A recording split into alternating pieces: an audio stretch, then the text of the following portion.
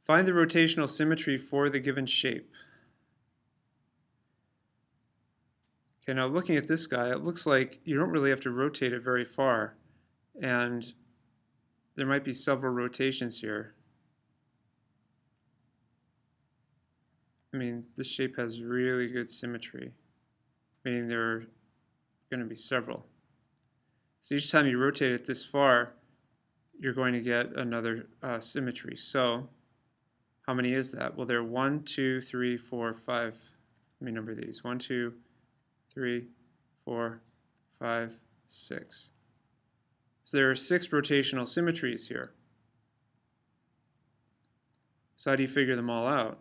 Well, it's not a simple 90 degree by looking.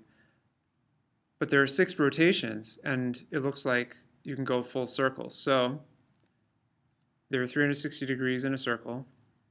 You're going to divide that by 6, which is the number of rotations I can see within that circle.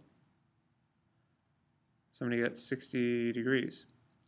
That means each one of these small rotations is 60 degrees. So you're going to add 60 degrees as you keep going around.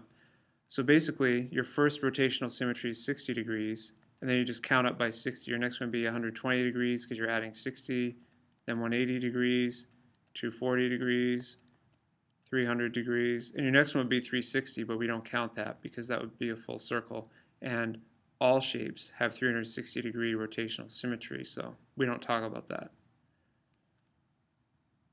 Okay, here's your rotational symmetry.